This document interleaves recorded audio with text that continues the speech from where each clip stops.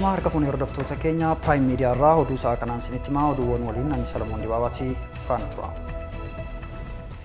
Eejensiin odeeffannoo fi nageenya Itoophiyaa miidhaa saayibarii Ijipt irraa aggaamee ture fashaleessuusaa beeksiseera.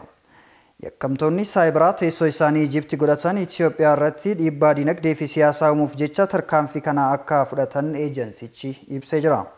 Yaaliin yakka saayibarii kun yakkamtoota Anubas Doot Hakar, Saayibar Horsii Giruuppii fi Security Bypass kan jedhaman akka ta'e eejensichi beeksiseera.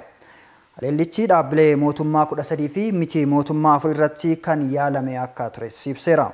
Dhaabbileen kunneenis dhaabbilee gurgurtaa tajaajila mootummaa fi waajjiraalee nageenyaa akka ta'an beeksiseera.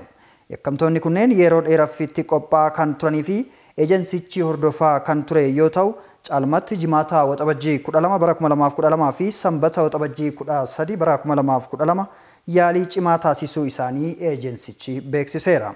Kaayyoon isaanii olaanaan ammoo guutiinsa bishaanii hidha haaromsaa guufachiisudha jedhameera. Itoophiyaatti qorannoo guyyaa tokkootiin namoonni 185 irratti dabalataan koronaa vaayirasiin argame. Sa'aatii 24 darban keessatti namoonni 3,775 qoratamaniiru. Umuriin namoota COVID-19 irratti argame kunneenis daa'ima waggaa 3 hanga ga'eessa ganna 80 gidduu kan jiran akka ta'e ministeerri fayyaa Dr. Liyaa Taaddasa himaniiru. Kan har'aa keessaa namoonni 160 jiraattota magaalaa Finfinneeti.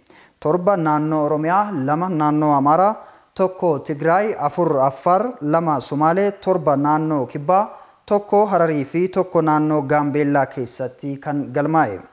Lakkoofsi namoota bayyanatanii waliigala kuma tokkoo fi dhibba afurii fi kudha lama gaheera.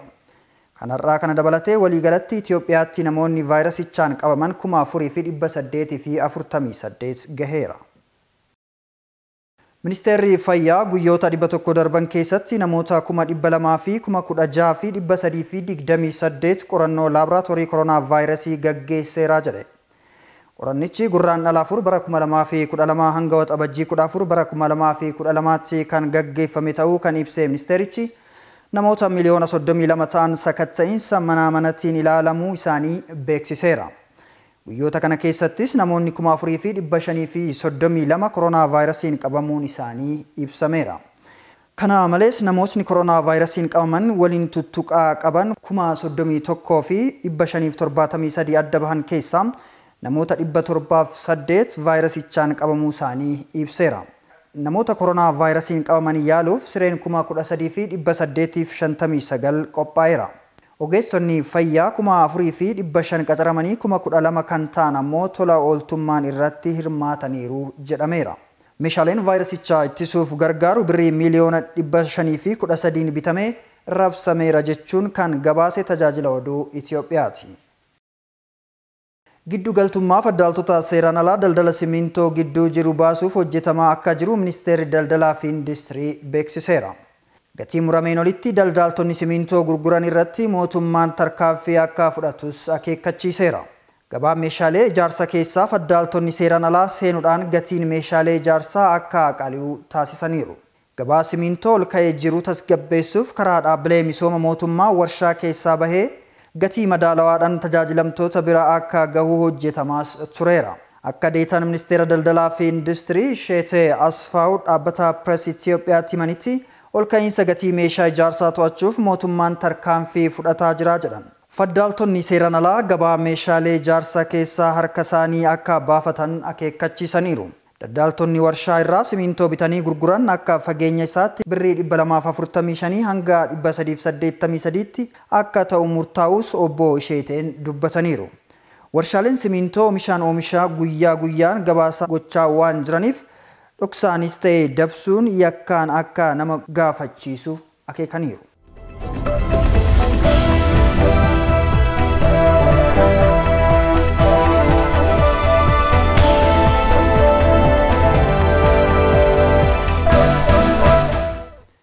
amma immoo oduuwwan biyya alaarraa argannittan dabra. Manni maree nageenya dhaabbata biyyoota gamtoomanii waldiddaa hidha haaromsaa irratti biyyoonni sadeen qaban mareen akka hiikan irra deebin beeksise. Ijiptii torbee darbe marii hidha haaromsa gaggeeffamaa ture addaan kutuun dubbichi mana maree nageenya dhaabbata biyyoota gamtoomanii akka ilaaluuf gaafattee turte. CGTN akka gabaasetti dhaabbanni biyyoota gamtoomanii Itoophiyaa, Suudanii fi Ijiptii garaagarummaa gidduu isaanii jiru waliin mari'atanii akka hiikan irra deebiin gaafateera. Pireezidaantiin Afrikaa kibbaa duraanii Jaakob Zumaan malaammaltummaan himatamanii mana murtii olaanaa kutaa bulchiinsa KwaZulu Naataalitti dhiyaatan. Akka gabaasa NCA'tti yakki malaammaltummaa Jaakob Zumaan ittiin himataman waliigaltee bittaa meeshaalee waraanaa humna ittisa Firaans waliin bara 1990moota gaggeeffameen. Yakki malaammaltummaa Jaakob Zumaan ittiin himataman kun doolaara Ameerikaa biliyoona lamaan akka shakkames ibsameera. Haa ta'uuti iyyuu malee Jaakob Zumaan yakka kana hin raawwanne jechuun waakkataniiru. Dhaabbanni biyyoota gamtoomanii sarbaan mirga namootaa Liibiyaatti raawwatame akka qoratamu ajajaa dabarse. Liibiyaa keessatti bara faranjoota 2015 irraa jalqabee wal morkii aangoo gaggeeffameen ajjeechaa fi sarbamni mirga namootaa biyyattii gaggeeffamuu isaa himee jira. Dhiyoo kanatti immoo bakki awwaalcha jumlaa Liibiyaatti argamee jira. Abbaan alangaa mana murtii yakkamtoota idilaa addunyaa gochi Liibiyaatti raawwatame gara yakka waraanatti kan geessudha yoo jedhu dhaabbanni biyyoota gamtoomanii ammoo qaama dhimmicha qulqulleessu hundeesseera. Dhaabbatichatti gorsaan mirga namoomaa Misheel Bicheelet sirba mirga namoomatti Liibiyaatti raawwatamaa jiru hunda balaaleffachuun Aljaziiratti gabaase. Chaayinaan saatalaayitii tajaajila GPS ammayyeessuu gara hawaatti milkaa'inaan ergite. Saatalaayitiin maqaan biiduu jedhamuun moggaafte kun doolaara Ameerikaa biliyoona kudhaniin ijaaramtee jedhameera. Saatalaayitoota hojiiwwan garaagaraa hojjetan 35 dugdatti uddeellattee akka furgurfamtes beekameera. Saatalaayitiin kun guddina isheetiin jajamteetti.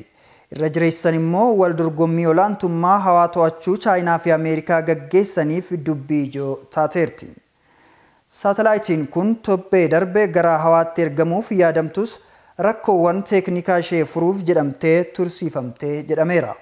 Sochiin Chaayinaan teeknoolojii hawaatiin gaggeessaa jirtu haalaan guddataa jiraas jedhameera. Saffisni guddina teeknoolojii hawaa amma jiruun bara 2035tti Chaayinaan hawaa olaantummaan to'achuu akka dandeessu ragaamaa jira jechuun BBCtu gabaase. Iraan meeshaa odeeffannoo xiyyaaraa galmeessu Box gara Faransaayitti akka ergitu himte. Xiyyaarri Yuukireen muddee darbee daangaa ishee keessatti kufee caccabuun isaa ni yaadatama. Balaa kanaanis namoonni 176 ta'an lubbuun isaanii yoo darbu kanneen keessaa namoonni 57 lammiilee Kanaadaa turan. Iraan xiyyaara imaltoota kanas dogongoraan rukuttee kuffisuu ishee ni yaadatama. Balaa kanaan booda qorannoodhaaf Iraan meeshaa ragaa xiyyaaraa galmeessuu akka kennitu gaafatamtullee diddee turte. Yeroon ammaa garuu ministeerri dhimma alaa Iraan Mohammad Javad Sariif biyyi isaanii meeshicha gara Faransaayitti akka ergitu himaniiru. UK'tti manneen sinimaa fi muuziyeemonni adoolessa afur irraa eegalee akka saaqaman mootummaan biyyattii ibse. Ingilaand keessatti gaaga'ama koronaa vaayirasii qababsiiseen manneen sinimaa fi muuziyeemonni walakkeessa bitootessa irraa eegalamee cufamanii turan. Biyyi industirii tajaajilaan beekamtu UK'n dameen kun cufamuu isaatiin maallaqa hedduu dhabdee jirti. Rakkoo koronaan qaqqabsiisaa jiru qabbanaa dhufuu isaatiin qoqqobbiin sochii irratti ta'ee ture yeroo ammaa irraa laafaa jira. Akka hoogganaan fayyaa biyyattii Maat Hancock jedhanitti manneen sinimaa fi muuziyeemonni cufamanii turan deebi'anii akka saaqaman mootummaan murteessuusaa ibsaniiru. Kun garuu kan raawwatu fageenya namoota gidduu jiru meetira lama kabajuudhanidha jedhan. UK keessatti namoonni koronaa vaayirasiin qabamanii hospitaala keessa jiran xiqqaachaa dhufee jira. Manneen nyaataa fi hoteelonni cufamanii jiran ji'oota sadan dhufan keessatti guutumaan guututti hojii idilee isaanitti ni deebi'us jedhan jechuun kan gabaase BBCdha. Gatiin boba'aa haalaan dabalaa jiraachuu isaa gabaa addunyaa yaaddeessaa jira jedhameera. Gatiin boba'aa ji'a lamaa asitti harka saddeettamaa oliin dabaleera. Gatiin boba'aa akkasitti wayita dabalu inni kun waggoota 25 booda jedhameera. Ebila darbee boba'aan difdifiin isaa barmeeliin tokko doolaara Ameerikaa 23 gurguramaa ture. Walgahiin tibbaa kanaa dhaabbanni ergitoota ergii boba'aa gaggeesseen boba'aan difdifii isaa barmeeliin tokko doolaara Ameerikaa 42 akka ta'u murteesseera. Dhiibbaan vaayirasii koronaatiin addunyaa irra qaqqabeen qoqqobbiin sochii irratti taasifamee fi oomisha boba'aa hir'achuun dabaluu gatii boba'aa sababa akka ta'e OPEC beeksiseera. Gatiin boba'aa kana akkasitti ol ka'e akka lakkoofsa warra Awurooppaa bara 1993 ture. Piraayim miidiyaarraa oduun har'aaf qabnu kanuma sagantaawwan keenya waliin turtii gaarii.